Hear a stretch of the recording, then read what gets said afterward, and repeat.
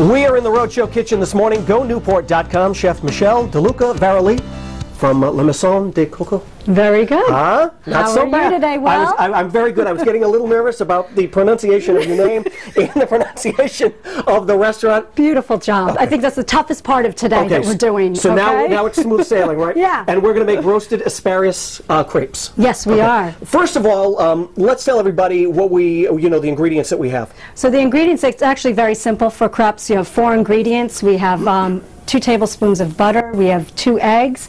We'll use a cup of milk and a cup of flour, and we mix those all together. You put a little salt in it, and our dill from my garden Oh, that I picked this morning. Very nice. And um, we'll put that together, and uh, we'll make our asparagus. We have Cloumage cheese But from tell everybody, yeah, you know what? We were talking about, you know, cheese a little earlier uh, this morning. Tell everybody what, you know, how this is going to taste. This is, um, it's called Cloumage cheese. It's trademarked from uh, Shy Brother Farms in Westport, Mass. And it's going to taste like a creamy ricotta cheese. Really? Along with roasted asparagus. We're going to just whet your appetite a little bit here.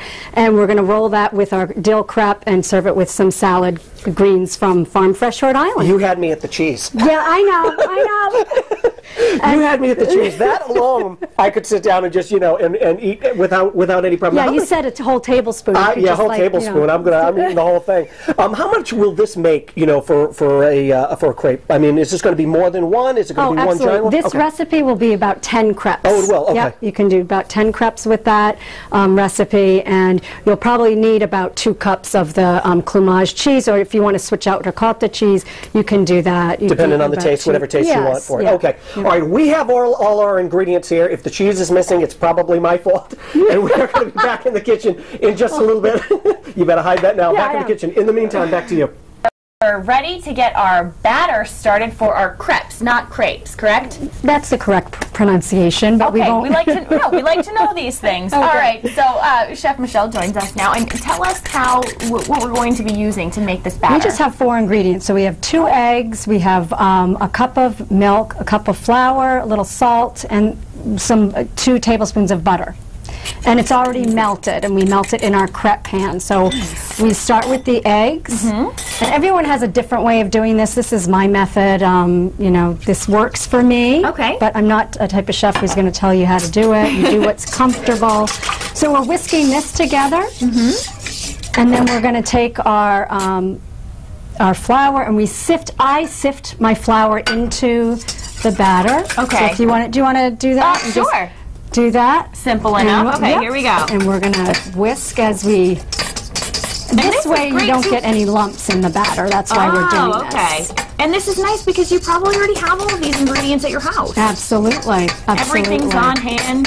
and it's very quick. Um, I, you know, sometimes at the cafe I run out of batter because I like Mm-hmm. to do it as, you know, to order, and within a few minutes I'm making another crepe and it's no problem. It Great. goes very quickly. So there you go. All right. We're gonna do our yeah. we're gonna slide our butter in here. That you've already melted down. No, that's a Already crepe melted. pan. This is. Can we? Where can we get that? Because that's much I actually than sell them at my shop at the cafe, but you can get them online. Um, I'm sure they're all different kinds. Um, Panhandlers in Newport has one that sells for quite a bit, and that is um, a diamond cut, I believe, is what it's called. Ooh, nice. So we'll uh, have to grab one pan, from but you. but these are uh, black steel. They work beautifully. Okay, so, So we're we are going finish done. that up. And this is we're going to do a little pinch of salt. You're putting the chives in. Okay, yum. Add some That's it. flavor, and we are going to finish these up later on in the show. Back to you.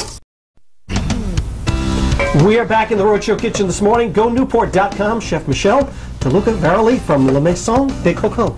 Excellent. We got it. Roasted asparagus crepes we're making Yes, today? we are Okay. with chive in them. So we are. You already saw us put our chives in the batter, and we are going to get this batter on a hot. You have to make sure that your pan is hot, and you can do so by spritzing it a little bit with a, f- um, some water. Okay. Okay. We know it's hot. We're hearing the sizzle.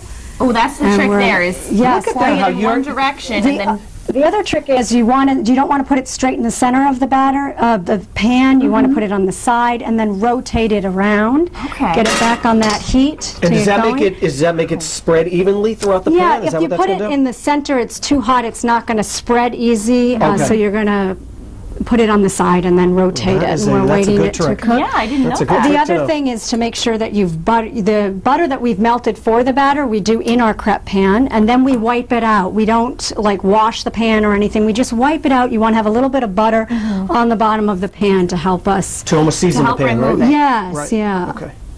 And this is fast. This That is was really fast. fast. It's very fast. So we're going to flip it over, just making sure. And I think our best tool are our hands, so that's what Okay. I use. that. Um, when I do the cooking classes at the cafe, some people like to use a little wooden spatula, but I always say our hands are our Uh, best, best tools. Mm-hmm. Yes. And for our So batter, the batter that we made, about how many crepes Ten. does this make? Ten. Gonna Oh, make okay. about 10. Oh, great. Depending on how big your crepe pan is, this is a nine and a half inch crepe pan, mm-hmm. so it makes about 10 crepes. Okay. There you go. Wow, Wow. ready. So now You we are good. We're ready. We're to ready to go. Okay, He's all up? happy because he has his Cloumage cheese to put in I am. there.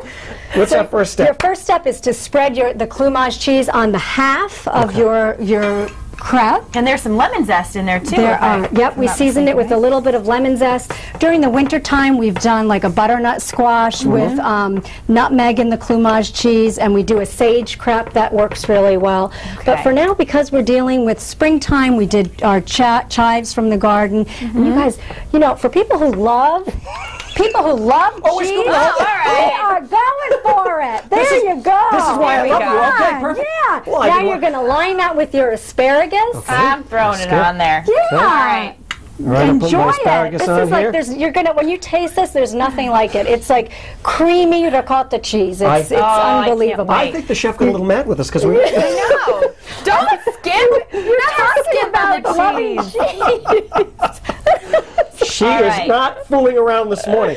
All right, and then you're going to drizzle some of our citronette that we made a ahead of time, which is um, olive oil, lemon juice, um, and a little mustard and salt. Mm-hmm. And you're going to drizzle that on top of your asparagus.